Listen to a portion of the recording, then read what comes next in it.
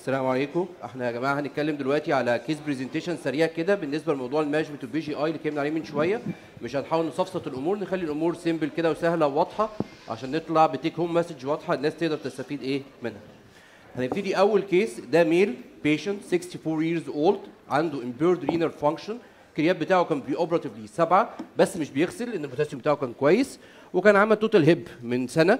وبعد كده حصل له infection الدكتور اللي عمل له العملية المفروض إن هو قال له إنه دخل شال المفصل من حوالي ست شهور وهو دلوقتي ال wound بتاعه sound و wound مقفول sealed ونايم في السرير.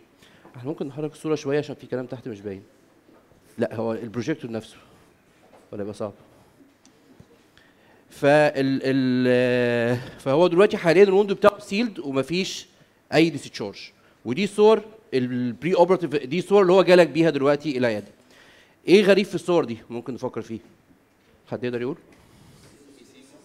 بالظبط. يعني أنتوا شايفين هنا هو الدكتور اللي هو عمل له العملية لما جه شال له المفصل ساب ده. ساب ال cement جوه ال femur زي ما هو. تمام؟ وحاليا الو- ال wound ده sound مفيش discharge والدنيا كويسة. هل تدخل تعمل revision للعيان ده؟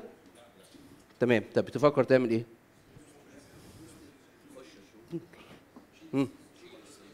تمام. تو يعني بنفكر إن إحنا نعمل إيه؟ two stage revision يبقى how to manage إحنا هنفكر إن ال plan بتاعنا هيبقى two stage revision كويس؟ طب إيه اللي أنت عاوز تطلبه قبل ما تبتدي تروح تاخد العيان ده العمليات؟ هل في حاجة هتعملها قبل ما العيان ده يروح العمليات ولا تاخده من إيده كده توديه على طول؟ تمام اللي هو تمام. aspiration ليه aspiration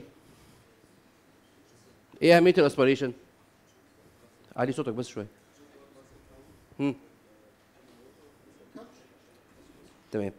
طب بص هو دلوقتي إحنا ببساطة كده إحنا المفروض العيان ده إحنا عاوزين ن diagnose الأول ن confirm قبل ما ندخل العيان ده إحنا هنعمل له إيه. كويس؟ فاحنا طلبنا له ESR طلع 80 125 CRP 48 وهو ال normal بتاعه 6 وبعد كده هن aspirate العيان ده. ليه هن aspirate؟ لأن العيان ده sealed مفيش أي discharge طالع ليك وأنت معكش أي document بال cultures اللي هو عملها قبل كده في الأول.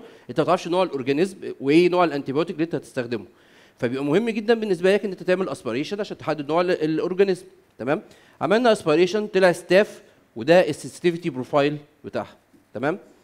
دلوقتي هنبقى treatment option إحنا اخترنا ال two stage تمام كده؟ فإحنا هندخل ال stage الأولانية. ال stage الأولانية بتبقى عبارة عن إيه؟ هشيل ال cement إزاي؟ في طريقتين أنت تشيل الأسمنت بيهم. ماشي؟ أو؟ نعم. burr ماشي. بي- burr بما معناه عموما يعني سواء burr أو غيره. إما إن أنت هتعمل حاجة اسمها اندو ريموفال يعني هتشيل الأسمنت from within the femur من غير ما ت osteotomize the femur أو إن أنت عاوز ت osteotomize the femur عشان تشيل الأسمنت. تمام؟ فدلوقتي العيان ده ده ال postoperative picture بتاعته. الأسمنت اللي أنتوا شفتوه اتشال اندو ريموفال خلاص ما عملناش osteotomy ما احتاجناش إن إحنا نعمل Wagner osteotomy كويس؟ وبعد كده عملنا كومبليت ديبرايمنت ريموفال اوف اول انفكتد تيشوز وريموفال اوف ذا سيمنت وعملنا اللي هو ال prosthesis of antibiotic loaded acrylic cement اللي هو ال PROSTALAC اختصارا PROSTALAC ده عبارة عن total hip تمام؟ محطوط ك spacer. يعني إيه محطوط ك spacer؟ يعني ده cup cemented عادي خالص أنتوا شايفينه بس هو الفرق إن هو snap fit يعني إيه كلمة snap fit يعني ال head بتدخل فيه بتمسك كويس جدا مش بتخلع بسهولة زي ال cup العادي. مختلف شوية عن ال constrained liner مش نفس ال- الحاجة يعني. تمام؟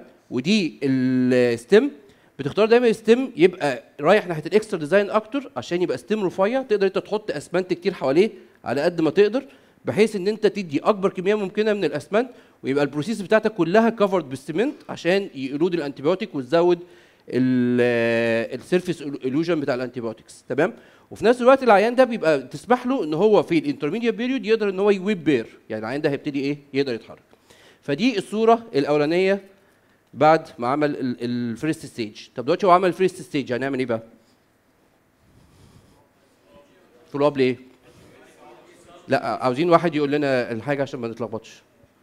حد يرفع إيده ويقول اتفضل يا دكتور.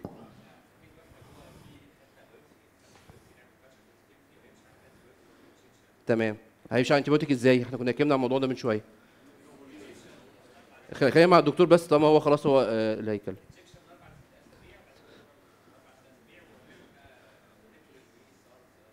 تمام. بص إحنا ما اتفقناش على كده قوي يعني إحنا ال- الطريقة كانت مختلفة شوية. أول حاجة العيان ده لما اتعمل هو اتعمل من كذا سنة فكان ال option بتاعنا أو طريقة استخدام ال antibiotic مختلفة شوية عن اللي قلتها من شوية. الطريقة اللي قلتها من شوية دي consensus جديد طلع في ال- آه، يعني في 2018 2019 فالدنيا كانت مختلفة سنة. ساعتها إحنا كنا العيان ده خدنا culture طلع staph زي ما هو في ال preoperative culture خد antibiotics لمدة شهر ونص. إحنا اتفقنا إن في شهرين هيبقى IV وأربع آه، في آسف أسبوعين IV وفي أربع أسابيع هيبقى oral تمام؟ في نهاية الشهر ونص دول كنا بنقف ال antibiotics خالص وبعد كده نعيد ال ESR وال CRP فيطلعوا normal أو within normal range فتوقف ال antibiotics لمدة شهر ونص تاني وبعد كده تعيد ال ESR وال CRP تاني. فكان بيبقى في حاجة اسمها drug holiday أو فترة ال off ال antibiotics دي. بس ده recently لا المفروض الكلام ده ما يتعملش. تمام؟ ده بخلاف للي اتعمل في العيان ده يعني. فبن repeat ال ESR وال CRP فانت عاوز to go for revision طب لو هن go for revision هتختار العيان ده إيه؟ أنتوا شفتوا الصور بتاعته. ما إحنا اتفقنا مفيش drug holiday يعني انت دلوقتي هتدي ال antibiotics أسبوعين IV أربع أسابيع oral ESR CRP normal go for revision أو انت ممكن تطول فترة ال antibiotics يعني انت لو عاوز تطول فترة ال antibiotics فترة أطول حتى عن الأربع أسابيع طولها بس ما تديش فترة راحة. ماشي؟ طب دلوقتي العين ده هنختار له إيه؟ ريفيجن أنتوا شفتوا الصور بتاعته؟ البرين نرجعها تاني لو عاوزين. بسرعة كده. رجعنا كتير دي الصورة البري. هنعمل له إيه ريفيجن ليه لونج ستيم ليه؟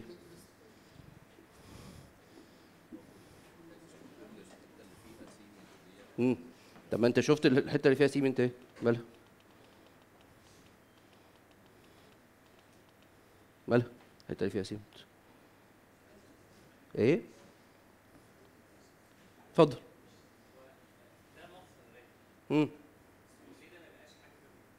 طب وليه لو ده infected يبقى permanent ويبقى صعب عليك جدا إن انت تشيله وت lose bone more bone لا بالراحه هو ال- المفصل ده محطوط loose في الأول أيام ما كان ال ESR وال CRP مش كويسين. في ال first stage فالمفصل ده أنت ده أنت أنت شايف ورا ال- ال cup هنا في الحتة دي؟ شايف كل ال halo اللي حواليه ده؟ ال cup ده مجرد ما بتخبط عليه كده بيخرج. يعني مش مش مش cup بس. لا لا بالراحة يا جماعة أنتوا اتلخبطتوا. لا، بالراحة بس لحظة واحدة لحظة واحدة لحظة واحدة. العيان كان جاي في الأول مفيش حاجة خالص اللي هو الصورة الأولانية اللي إحنا حطيناها بالاسمنت ده بعد ال first stage اللي قلنا اللي هو بيحط spacer مختلف شوية عن الشكل بتاع ال J stem اللي يمكن معظم الناس تبقى عارفاه اللي هو شكل الأسمنت اللي جواه rod أو الأسمنت لوحده. كويس؟ إحنا قلنا بنستخدم total hip بيتحط loose تماما عشان يبقى يشتغل في ال intermediate period ده بمنتهى البساطة كده. فالكا... فال stem ده كله بال cup بكل حاجة محطوطة loose تماما بتشال في خلال ما فيش يعني.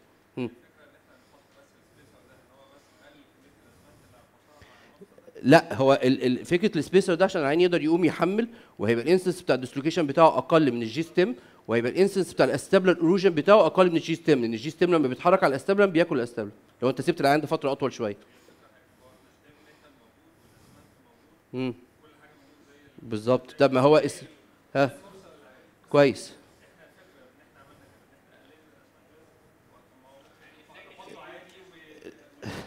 لا هي مش مش قللنا الأسمنت. هو بس إحنا سيبنا سيبنا الموضوع ودخلنا في ال PROSTALAC هو يستخدمه ولا ما يستخدموش أو ال discussion اللي عليه. هي بس الفكرة كلها أنت ال cement لو أنت استخدمت ال J stem ال antibiotic elution بيبقى مدة من أربع لست أسابيع. بعد أربع لست أسابيع الأسمنت اللي انت حطيته ده هيبقى foreign body زيه زي بالظبط المفصل ده. كويس؟ ففي الحالتين انت عندك foreign body ده غير مجرد ما بيقل ال rate بتاع ال elution بتاع ال antibiotic الأسمنت بيبتدي يقلب إن هو يبقى foreign body ممكن يبقى colonized ويعمل biofilm فزيه زي المفصل ده. فلو انت قبلت إن انت تحط J stem بيبقى المفروض ما يبقاش عندك يعني اعتراضات كبيرة إن انت تحط ال PROSTALAC دي أول حاجة. الحاجة الثانية إن أنت في قصة ال PROSTALAC لما إحنا بنتكلم عليه آه، أو ال- المفصل اللي أنت حاطه أنت عندك عيان infected أنت ممكن تدخل تعمله one stage revision فتشيل كل حاجة وتحط مفصل well fixed عشان العيان ده يقوم يتحرك عليه. كويس؟ بس لو العيان ده بقى reinfected تاني أنت هتدخل تشيل مفصل well fixed فأنت المفصل well fixed ده أكيد لازم يحصل فيه مشاكل. هت lose bone هتعمل osteotomies هتستخدم revision implants يبقى أنت جريت بالعيان ده مسافات هو مش محتاجها. أنت قررت في الأول أنتوا خدتوا قرار ب two stage مش هنرجع نقلبه تاني one stage كويس؟ فالمفصل ده محطوط loose خلاص بقى سيبنا في القصة دي عشان إيه؟ ما نطولش فيها. loose يعني أنت بتحط ال cup في إيدك وتحط حواليه الأسمنت وهو في إيدك وبعد كده دوبك ت push it inside the acetabular من غير ما تعمل pressurization ومن غير ما تحط الأسمنت الأول وت pressurize عليه. وبتاخد ال stem في إيدك وبتحط عليه ال cement وبعد كده تروح حاطه في ال femur وبتستنى قرب ما يكون قرب على ال setting point وتحطه جوه ال femur بحيث برضه ما يبقاش فيه integration مع ال cancellous bone عشان برضه يبقى سهل الريموفال بتاعه. فده مفصل يسمح للعيان إنه يقوم يتحرك partial weight bearing والفترة معينة يعني فترة مثلا اللي هي الشهرين أو ثلاث شهور اللي هي intermediate period دي وفي نفس الوقت ما ينفعش يتحرك عليه على طول ما ينفعش اسيبه له لأن ده هيعمل له loosening وممكن يحصل له periprosthetic fracture ويحصل له pain وكل حاجة. تمام؟ آه فهنرجع لل second stage ال second stage بس في نقطة ما خدتوش بالكم منها إحنا قلنا اللي عندها renally impaired creat سبعة. على وشك إن هو يبقى يعمل آه تديوش إن هو يعمل آه dialysis يعني. فعشان كده إحنا اخترنا whole cemented revision ماشي؟ ده case 1 عاوزين نتحرك بسرعة بقى. case 2 أنت عندك في female patient 30 years old. ال female دي ما عندهاش أي comorbidities كان عندها bilateral AVN hip في الصورة اللي باينة عندنا وعملت cemented total hip من ثلاث أسابيع. ودي الصورة ال pre بتاعتها. ودي الصورة ال postoperative برضو بعد المفصل كويس دلوقتي جت presented بعد ثلاث أسابيع من العملية عندها في tenderness وعندها pain during rest وعندها hotness وعندها serous discharge هن manage إزاي؟ ثلاث أسابيع DAIR طب إحنا ال DAIR برضو هل هنروح العمليات على طول ولا في حاجة أنتوا عاوزين تعملوها ولا المفروض نعمل إيه؟ يعني مثلا نس- نسحب ESR و CRP نعمل culture ما نعملش إيه رأيكم؟ نعمل إيه؟ حد يرفع ايده ويك... يعني ونخلينا ماشي اتفضل يا دكتور.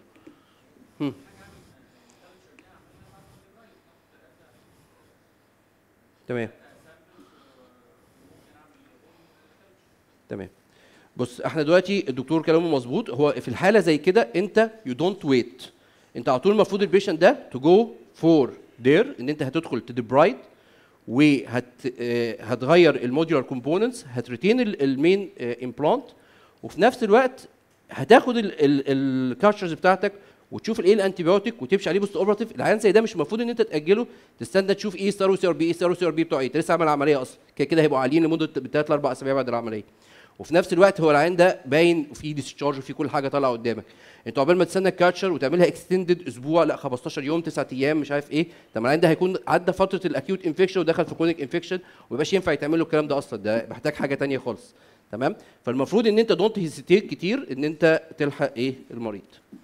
ماشي؟ دي وهي خلاص يعني ال- الدنيا بقت sound يعني بعد ال patient على antibiotics والدنيا بقت sound ده بالنسبة ل case 2 هندخل ل case 3 ده male patient 36 years old عمل multiple operations for total hips آه debridement واتعمل DAIR و exchange ال modular components ومشي كويس بعد كده. نعم؟ طب ممكن خليها الآخر عشان بس ال- الوقت وإحنا كده كده كنا متعطلين. وفي الآخر في discussion نبقى نسال براحتنا دلوقتي ال patient ده كان عنده 36 years old done multiple operations for total hip. آخر واحدة فيهم كان من خمس سنين اللي هي الصورة اللي أنتوا موجودة قدامكم. وبعديها بسنة بقى عنده discharging sinus و present pain during rest و pain during ambulation تمام؟ دي الصورة اللي هو جاي لك بيها. كويس؟ اللي هو فيها ال sinus to manage. هم. حد يرفع ايده برضو؟ اتفضل. تمام. Two stage. يبقى انت دلوقتي will go for ال first stage عاوز تعمل إيه الأول؟ لا قبل ما تدخل أوضة العمليات. يا دلوقتي ده عيان جايب sinus انت محتاج إيه confirm أو إيه مش ت confirm يعني محتاج إيه؟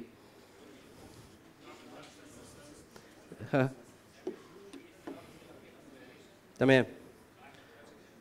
تمام.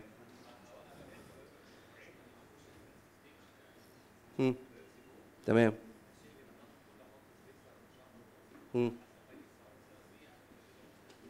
تمام. طب خلينا في ال first stage.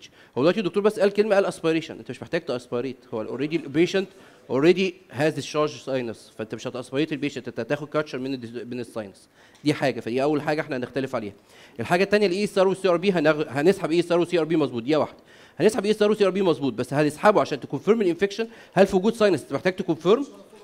تمام؟ عشان follow up عشان انت postoperative افرض ده مثلا immunocompromised فانت لما سحبت ESR و CRP لقيتهم normal رغم إن في sinus قدامك. فانت لما تعمل بوست اوبرتيف اي اس ار وسي ار بي وتلاقيه normal هتفتكر العيان ده بقى كويس. هتعمل له revision وهو عنده مشكلة ثانية خالص أنت كنتش واخد بالك منها إن هو أصلا ESR و CRP عنده normal من الأول.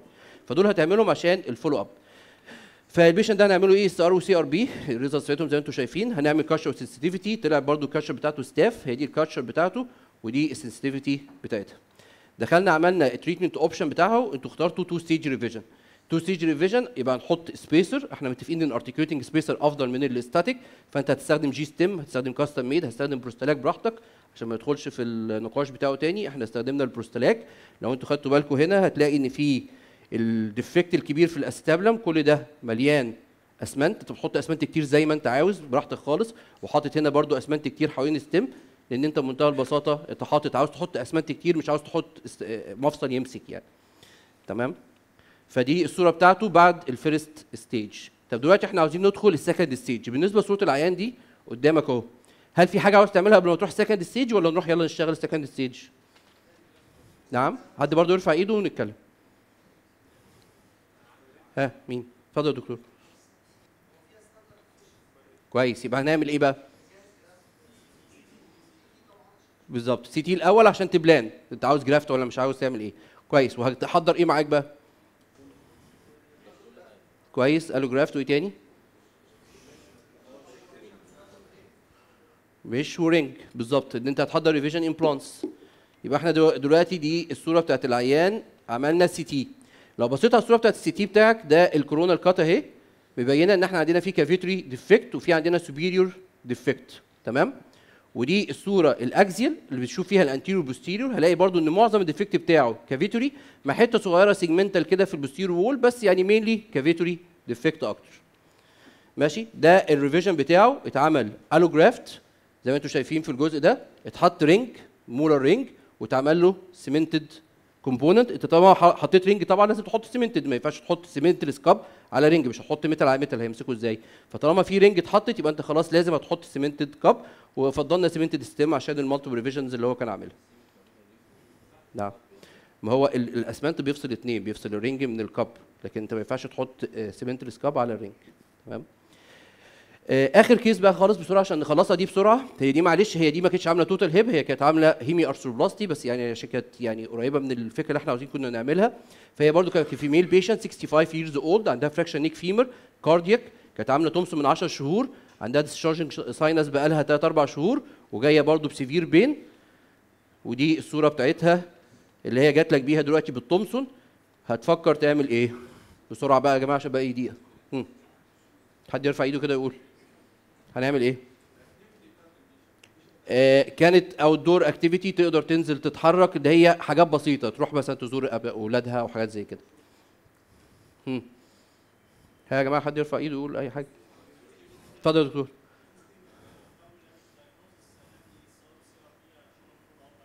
ماشي. طب ماشي. لا والأول culture. ماشي. يبقى عملنا ال ESR وال CRP طلعوا عاليين. عملنا ال culture طلع Enterobacter highly resistant مفيش sensitivity غير لل colistin وال tigecycline الحاجتين اللي هم traditionally أو موجودين عندنا يعني. وال tigecycline ما ينفعش تاخده عشان هي في renal impairment فهي كانت المفروض الحاجة الوحيدة ينفع تاخدها كوليستين. تمام؟ دي أول حاجة. ف treatment option إحنا اتفقنا إن إحنا هنحاول two stage أو دكتور بيقول Girdlestone مثلا هن argue برضو ال- الرأي بتاعه. طب لو افترضنا ان إحنا هنعمل two stage إحنا شلنا الاسمنت بنفس الطريقة اللي هو اند ريموفال ما عملناش osteotomy بتشيلوا اند ريموفال إزاي؟ ان انت بتعمله reaming بال reamers بتاعت ال interlocking tibia مثلا وتبتدي ت ream الاسمنت ده واحدة واحدة وتشيله بال osteotome بالراحة لغاية ما تشيله كله من غير ما تعمل osteotomy على أساس إن أنت preserve bone stock تمام؟ فالمهم إن هو اتشال كويس الحمد لله من غير مشاكل وحطينا برضو PROSTALAC ك first stage فالعيانة دي خدت IV antibiotics for two weeks وبعد كانت قاعدة فيهم في المستشفى وفكت الغرز بتاعتها ال wound كان okay وكنا بنسمح لها partial weight bearing after two weeks discharged رجعت لك بعديها بأسبوع في heavy wound discharge فكر نعمل إيه؟ ليه؟ إيه الفكرة؟